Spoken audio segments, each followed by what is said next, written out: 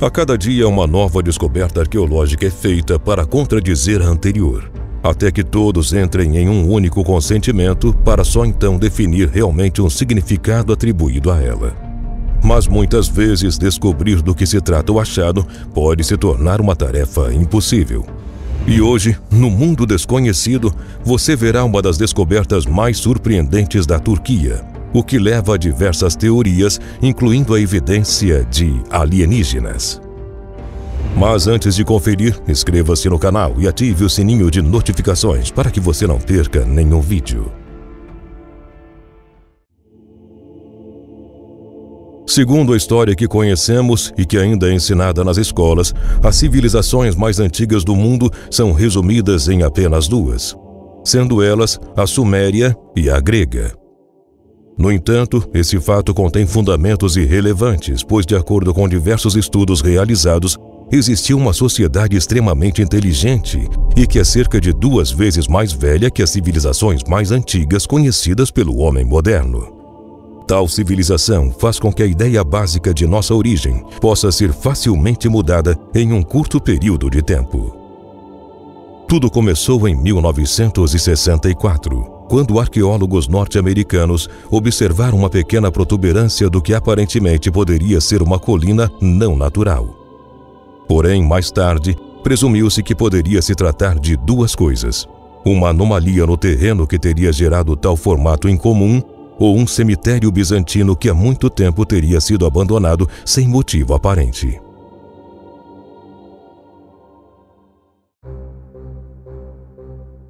Em 1994, um pastor de ovelhas que andava ao lado de seu rebanho notou pedras com formatos nunca vistos antes por ele. Por isso, resolveu compartilhar o que viu com todos de sua aldeia. Mas em poucas semanas, a notícia já havia se espalhado além dos limites. Os arqueólogos ficaram impressionados e curiosos com o que ouviram e no mesmo ano decidiram partir para novas pesquisas que foram lideradas pelo arqueólogo alemão Klaus Schmidt, e a partir daí iniciou-se a escavação do que hoje chamamos de Göbekli Tepe. Esse local conta com uma grande quantidade de megalíticos, podendo ser considerado um santuário neolítico repleto de pedras planas, localizado no topo de uma cadeia montanhosa na região de Anatólia, no sudoeste da Turquia, a cerca de apenas 15 quilômetros de distância da capital Sanliurfa. Göbekli Tepe contém diversas estruturas magníficas que possuem principalmente formatos circulares e ovais, sendo em sua maioria na forma da letra T. Muitos dos pilares são decorados com relevos esculpidos em formatos de animais e de pictogramas abstratos, como leões, touros, javalis e raposas, por exemplo. Além disso, é possível observar a representação de insetos como formigas e escorpiões. Durante a mais recente temporada de escavações, os arqueólogos encontraram estatuetas da cabeça de um abutre e de um javali, Porém, uma das estátuas que mais chamou a atenção de todos os pesquisadores é a representação de seres humanos e dentre a maioria das esculturas, as mulheres ganham destaque. As casas e templos são basicamente edifícios megalíticos redondos e suas paredes são constituídas de pedra pome. Ao todo, existem 12 pilares monolíticos de calcário, cada um com mais de 10 toneladas. Os T's possuem mais de 3 metros de altura, exceto por dois pilares menores que se localizam no centro da estrutura. Recentemente foi confirmado pelos arqueólogos que esses pilares eram utilizados para suportar coberturas, ou seja, funcionavam como pilastras. Uma curiosidade interessante está ligada diretamente com o pavimento, pois quando o encontraram, ele estava revestido com terraço, que trata-se basicamente de uma mistura de restos de pedra, comumente feito com o uso de mármore. A parede exterior possui uma espécie de degrau que rodeia o edifício, e quase todos os círculos em que são cortados têm até 65 metros de diâmetro.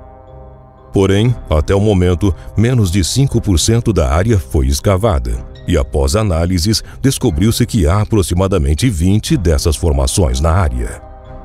A análise de radiocarbono, que trata-se de uma ferramenta de pesquisa capaz de determinar a idade de objetos arqueológicos, determinou que a idade da cidade é de no mínimo 12 mil anos. Isso significa que esse sítio é mais antigo que as primeiras cidades da Suméria, com uma diferença de 500 anos, contradizendo a história que antes tinha a Suméria como a mais antiga civilização.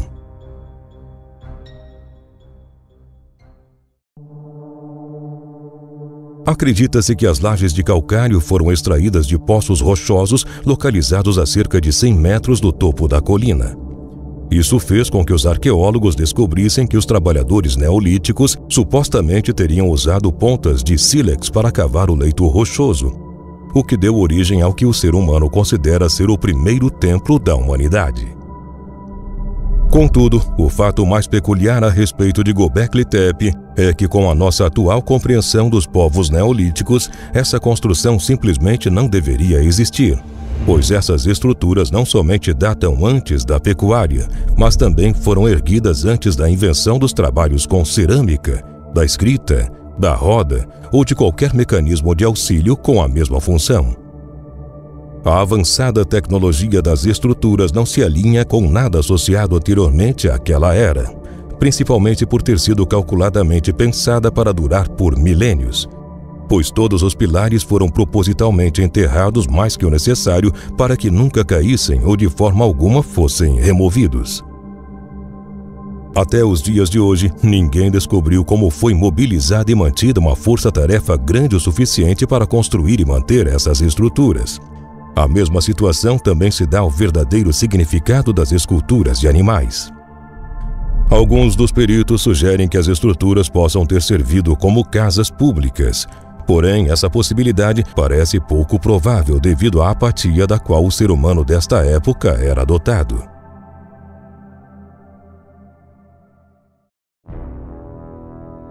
Devido a esses fatos, são muitas as opiniões para tentar explicar a real funcionalidade do lugar. O arqueólogo alemão Klaus Schmidt, por exemplo, acredita que o complexo é uma espécie de templo que retrata a primeira forma de expressão espiritual dos nossos ancestrais. No entanto, por enquanto, ninguém pode explicar especificamente como o Gobekli Tepe foi realmente construído, e muito menos para que ou do que se tratava inicialmente. Um fato bastante curioso é que nenhuma evidência de habitação de um grande número de pessoas foi encontrada, pois além de poucas ferramentas de pedra, não há evidência de uma grande força de trabalho que tenha construído tudo isso. E mesmo que em um futuro próximo isso seja evidenciado, a dificuldade em explicar a movimentação de blocos tão pesados ainda vai ser mantida. Por esse motivo, os ufólogos ganharam destaque nessa investigação, pois acreditam que esta construção parece ser coisa de outro mundo, erguida por seres muito além de seu tempo. Essa teoria se reforçou ainda mais depois da descoberta de uma estrutura não identificada que fica exatamente no centro do suposto templo. Os ufólogos dispõem de argumentos vorazes para explicar essa estrutura de pedra. Porém, a maioria acredita que trata-se na verdade de uma espécie de portal que seres de outros planetas usavam para entrar na Terra e ajudar a construir o templo. E até mesmo os mais céticos se renderam a tal teoria quando provaram que até a mais potente das máquinas modernas se colocaria em uma situação de dificuldade ao tentar erguer aquelas pedras. De acordo com os pesquisadores, há um forte indício de que no oitavo milênio antes de Cristo, Gobekli Tepe foi misteriosamente e deliberadamente enterrado. Mas seus mistérios ainda vão intrigar a humanidade por alguns milênios, antes do ser humano ser finalmente capaz de desvendar tudo o que se relaciona à suposta civilização mais antiga da humanidade. Você acha possível a existência de uma construção feita por alienígenas no sudoeste turco? Conte pra gente aqui nos comentários. E não se esqueça de conferir os vídeos anteriores do canal Mundo Desconhecido. Muito obrigado por ter assistido a esse vídeo e até a próxima.